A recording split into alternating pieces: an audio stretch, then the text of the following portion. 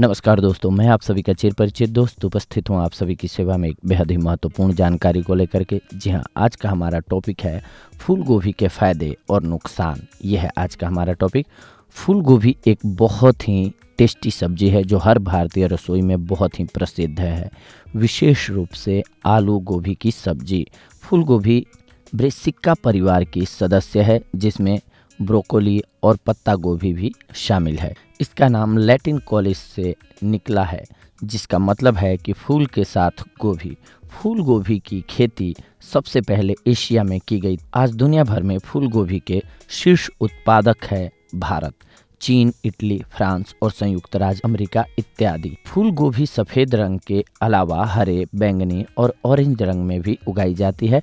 Orange फूल गोभी बहुत ही पौष्टिक है और इसमें सफ़ेद किस्म की तुलना में विटामिन ए की बहुत अधिक मात्रा होती है। यह विटामिन सी, फोलेट, विटामिन के और विटामिन बी सिक्स का एक उत्कृष्ट स्रोत है। Vitamin B one thiamine vitamin B two, riboflavin, vitamin B three, niacin और ई अल्फ़ा टोकोफेराल भी कम मात्रा में मौजूद होते हैं। इसमें कैल्शियम, मैग्नीशियम, फास्फोरस, पोटेशियम और मैग्नीज जैसे महत्वपूर्ण खनिज भी पाए जाते हैं। यह प्रोटीन का अच्छा स्रोत है और बहुत कम मात्रा में फास्फोरस, पोटेशियम और मैग्नीज जैसे महत्वपूर्ण खनिज भी इसमें पाए जाते हैं। यह प्रोटीन का अच्छा स्रोत है। बहुत कम मात्रा में वसा प्रदान करती है ये। इसमें वसा की पर्याप्त मात्रा शामिल है, जो असंतृप्त वसा और अनिवार्य ओमेगा थ्री फैटी एसिड से आती है। यह आहार फाइबर भी प्रदान करता है और इसमें प्राकृतिक शर्करा की एक छोटी मात्रा होती है। इसमें विटामिन के होता है, जिसमें सूजन को कम करने वाले गुण होते हैं। फूल गोभी की नियमित खपत इसमें मौजूद ग्लूकोरेफेनिन की उपस्थिति के कारण स्वस्थ रक्त परिसंचरण सुनिश्चित करती है और रक्त वाहिकाओं को बनाए रखने में मदद करती है। ग्लूकोराफेनिन आइसोथियोसाइनेट में बदल जाता है, जो कि सूजन को कम करने वाली गतिविधियों को सक्रिय करने और रक्त वाहिकाओं में लिपिड के संचय को रोकने में मदद करता है। यह रक्त के अबाधित प्रवाह में सहायता करता है, जो कि एथारोस्क्लोरिसिस जैसी स्थितियों के जोखिम को कम करता है और हृदय स्वास्थ्य को बढ़ावा देता है। आइसोथियोसाइनेट इंडोल थ्री, कार्बनोल या आई थ्री सी एक सूजन को कम करने वाले घटक हैं, जो आनुवंशिक स्तर पर कार्य करता है और प्रारंभिक चरण में सूजन की गतिविधियों की उत्तेजना को रोकता है। ये पाचन के लिए भी बहुत ही अच्छी होती है। यह आहार फाइबर का एक अच्छा स्रोत है, जो पाचन में सहायक और शरीर से विषाक्त पदार्थों के उन्मूलन को बढ़ावा देता है। फूलगोभी में ग्लूकोसिनॉल, ग्लूकोराफेनिन और सल्फोराफेन की उपस्थिति पेट की दीवारों को बचाती है और हेलियोबैक्टर पाइलोरी बैक्टीरिया के विकास का विरोध करने में मदद करती है। इस रक्षा तंत्र के अलावा फूलगोभी में मौजूद आहार, आइसोथियोसाइनेट, पेट के अल्सर और पेट के कैंसर जैसे विभिन्न पेट विकारों के जोखिम को रोकते हैं। इसके अलावा फूल गोभी के लाभ श्वसन पेप्लोटोसिस के लिए भी होता है। इसमें इंडोल थ्री कार्बोनोल शामिल है, जो पुनरावर्ती श्वसन पेप्लोटोसिस के उपचार में प्रभावी है। श्वसन पेप्लाटोस, श्वसन पेप्लोटोसिस मानोपेपिलोमा विषाणु के कारण होने वाली बीमारी है, जो गला, ट्रैकिया, फेफड़े और ब्रेंची में मुखर तार को प्रभावित करती है। अध्ययनों से पता चला है कि क्रूसीफेरोउस सब्जियों की खपत जैसे कि फूल गोभी श्वसन पेप्लोटोसिस की गंभीरता को कम करने में सहायता करती है। कैंसर के उपचार के लिए फूल गोभी है बहुत ही लाभकारी। फूल गोभी में ग्लूकोसाइनोलेट्स शामिल हैं, जो स्वस्थ यौगिक जैसे सुल्फोराफेल और इसोथियोसाइनेट्स प्रदान करते हैं, जिन्हें इंडोल थ्री कार्बनोल कहा जाता है।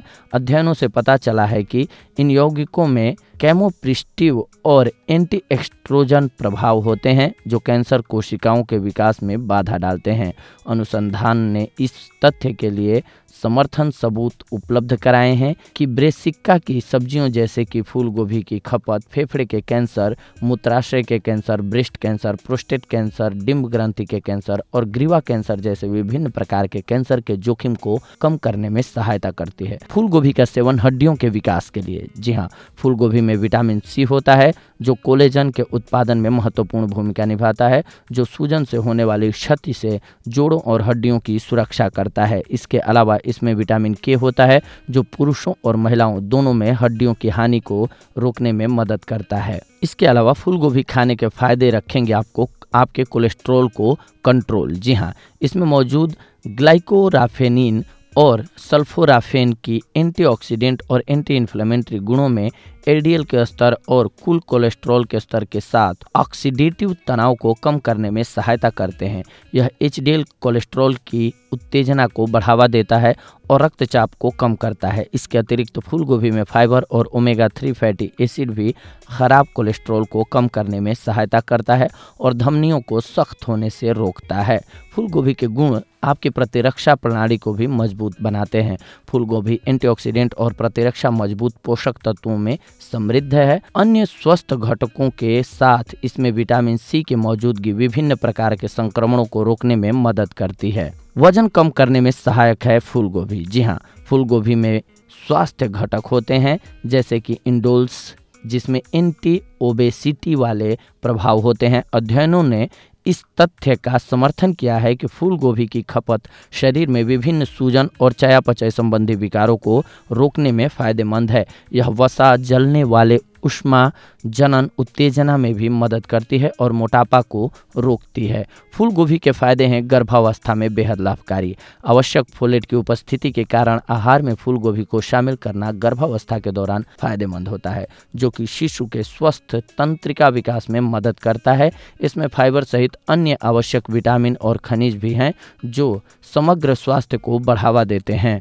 मस्तिष्क स्वास्थ्य के लिए करें फूल गोभी का उपयोग। इसमें कोलिन और फास्फोरस होते हैं, जो कोशिका झिल्ली की रिपेयर में प्रभावी है। तंत्रिका संकेतों को प्रेषित करने के लिए मस्तिष्क और तंत्रिका तंत्र के कुशल कामकाज के लिए आवश्यक है। इसके अलावा फूल गोभी में पोटेशियम और विटामिन बी सिक्स की उपस्थिति मस्तिष्क स्वास्थ्य को बनाए रखने में महत्वपूर्ण भूमिका निभाते हैं और न्यूरो सहित कई आवश्यक नर्वस तंत्रिका में उचित संचार को बढ़ावा देने के लिए डोपामाइन और नोरेपेनेफ्रिन भी शामिल हैं।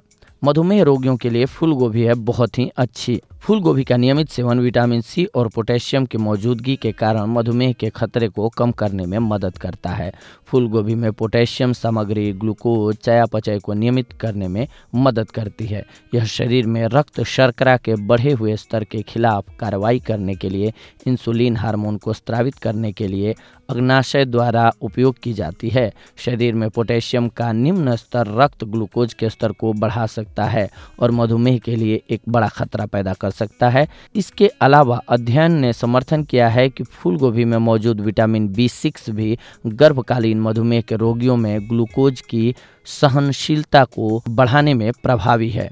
इसके अलावा फूल गोभी का इस्तेमाल करेगा कोलाइटिस के लिए आप करके लाभ उठा सकते हैं। अध्ययनों अध्ययनों से सुझाव दिया जाता है कि फूल गोभी के अर्क का अल्सरेटिव कोलाइटिस के लक्षणों पर सूजन को कम करने वाला प्रभाव पड़ता है। इसमें मौजूद फेनिलिथीन, आइसोथियोसाइनेट सुरक्षात्मक प्रभाव के लिए जिम्मेदार ठहराया जा सकता है, जो वृहदांत्र के उत्तकों और कोलन एपिथेलियम में हुई क्षति पर एक बहुत ही अच्छा प्रभाव डालता है। Cauliflower for Alzheimer. फूल गोभी में मौजूद सल्फोराफेन और फूल गोभी में मौजूद सल्फोराफेन और इंडोल्स ने न्यूरोडिजेनरेटिव रोगों की प्रगति को कम करने में एक महत्वपूर्ण भूमिका निभाई है।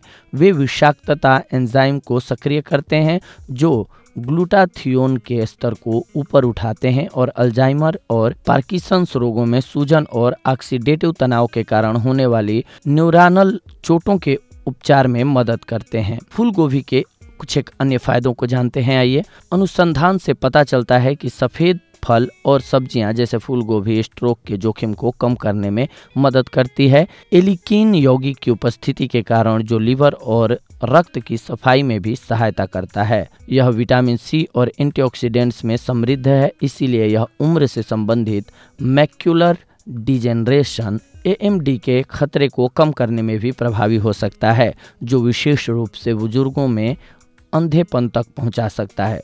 फूल गोभी में मौजूद सल्फोराफेन ऑक्सीडेटिव तनाव से होने वाले नुकसान से रेटिना के उत्तकों की सुरक्षा करते हैं और इसके अलावा दृष्टि हानि और मोतियाबिंद जैसे विभिन्न आँखों की बीमारियों से बचाता है। शोध अध्ययनों से पता चला है कि फूल गोभी में मौजूद सल्फोराफिन अल्ट्रावायलेट रेडिएशन की वजह से क्षतिग्रस्त त्वचा की रक्षा करने में प्रभावी है। सुल्फोराफिन की सुरक्षात्मक कार्यवाही ने शरीर को सूजन, त्वचा के कैंसर और सेलुलर क्षति के खिलाफ बचाव किया है। इसमें पोटेशियम है जो शरीर में प्रमुख इलेक्ट्रोलाइट्स में से एक है। पोटेशियम सामग्री शरीर में इलेक्ट्रोलाइट संतुलन को बनाए रखने में मदद करता है, जो तंत्रिका आवेगों और मांसपेशियों के संकुचन के प्रसारण में तंत्रिका तंत्र के कामकाज के लिए आवश्यक है। फूल गोभी के अब नुकसानों के बारे में जान लेते हैं। फूल गोभी विटामिन के में समृद्ध है, जो सामान्य रक्त के थक्के के लिए शरीर द्वारा उपयोग किया जाता है। यह वाटर फिरिन और कुडमिन जैसे थक्का रोधी की प्रभावशीलता को कम कर सकता है। यदि थक्का रोधी ड्रग ले रहे हों तो विटामिन के में समृद्ध खाद्य पदार्थों के सेवन से पहले डॉक्टर से बात करें। फूलगोभी में कई जटिल कार्बोहाइड्रेट होते हैं, जो पूरी तरह से पाचन तंत्र में टूट नहीं पाते हैं। ये कार्बोहाइड्रेट आंत्र बैक्टीरिया द्वारा पाले जाते हैं।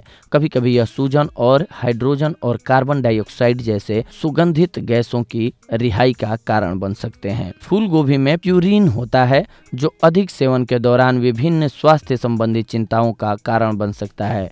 प्यूरिन यूरिक एसिड बनाने के लिए टूट जाते हैं और शरीर में प्यूरिन युक्त खाद्य पदार्थों का अत्यधिक सेवन करने से शरीर में यूरिक एसिड का निर्माण हो सकता है। यह आगे यूरिन एसिड से संबंधित समस्याओं जैसे कि किडनी स्टोन और गाउट के लिए रास्ता तैयार कर सकता है। ऐसे जटिलताओं वाले लोगों के लिए यह सलाह दी जाती है कि वे फूल गोभी की मात्रा को सीमित रखें। कुछ लोगों को फूल गोभी के सेवन से एलर्जी हो सकती है, इसलिए वो भी इसका ख्याल रखें।